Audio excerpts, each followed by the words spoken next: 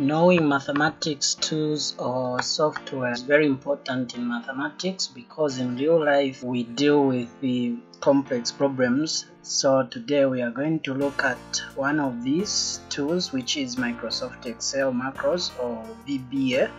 Uh, Visual Basic for Applications to write a program that will be able to solve simultaneous linear equations.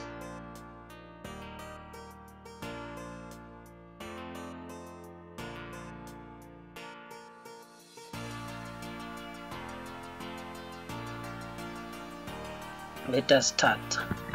So we begin by opening our excel program. When the excel is ready you go on developer make sure that your developer is installed or is activated. Then you go on record macros. On record macros you can write the name of the thing that you'll be doing. In this case we will be solving equations. So i'll write that as a, my uh, macros name solving equations of two variables. And then if you go in visual basic for applications you can go on module 1 to find what we have already written there. Once you have opened it you can run it.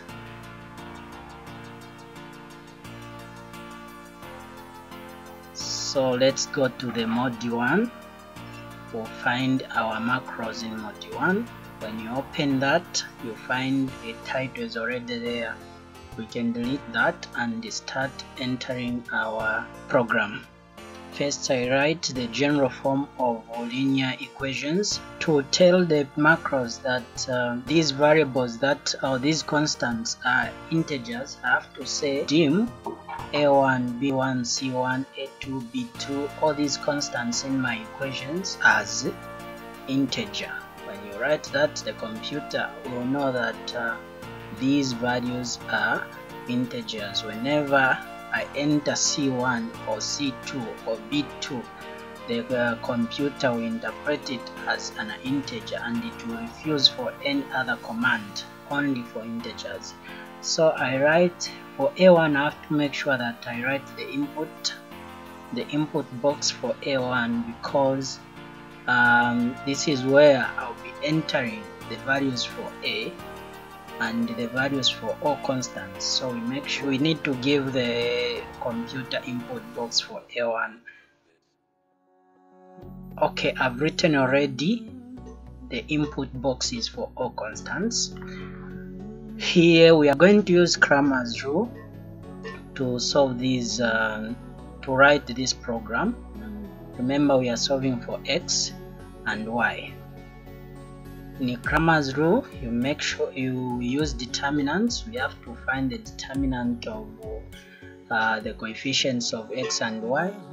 And also we substitute the columns the column for x we substitute with the c1 and c2 for y we substitute the column for y's with the c1 and c2 and then we find the determinants determinant a which is the determinant for the coefficients of our functions and then determinant and then by Cramer's rule we we'll find that x1 is the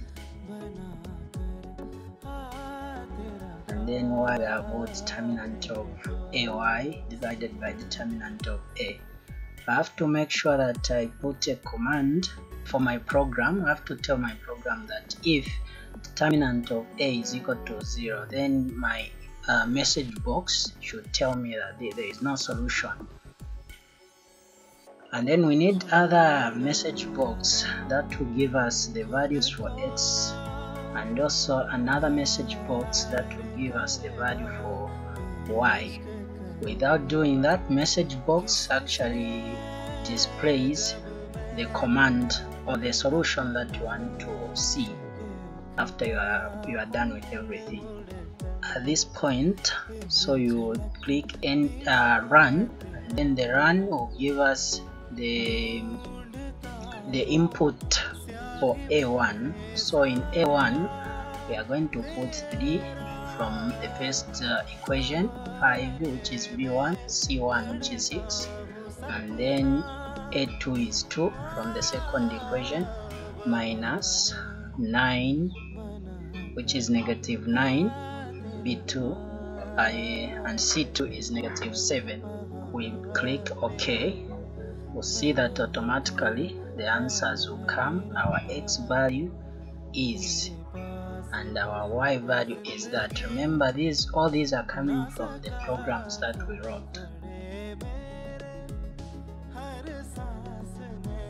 in this example we are going to have um, 2x plus y is equal to 1 and another equation is x minus y is equal to 2 so our a1 is equal to 2 1 i mean sorry uh, 2 uh, b1 is 1 and uh, c1 is 1 as well. We enter and then you immediately when you enter you click ok or enter. After that we enter ok. We have x1 uh, x value which is 1 and y value which is negative 1 when you replace in that uh, in those two equations you see let's try another ex last example that one 3x minus 4 6y is equal to 10 minus uh, sorry negative x plus 4y is equal to 9 we enter the constants. All right at this point there is no value. Division division by zero is an error. In the normal sense it was supposed to give us that uh, uh, no solution but uh, it is already programmed to detect when there is a zero. So we have uh, that error.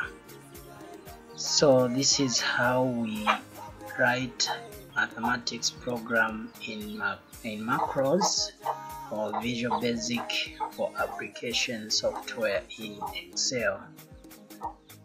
We can use this uh, program to answer a lot of questions in mathematics for this week. We'll just end here. Thank you for watching. I'm wilson mubanga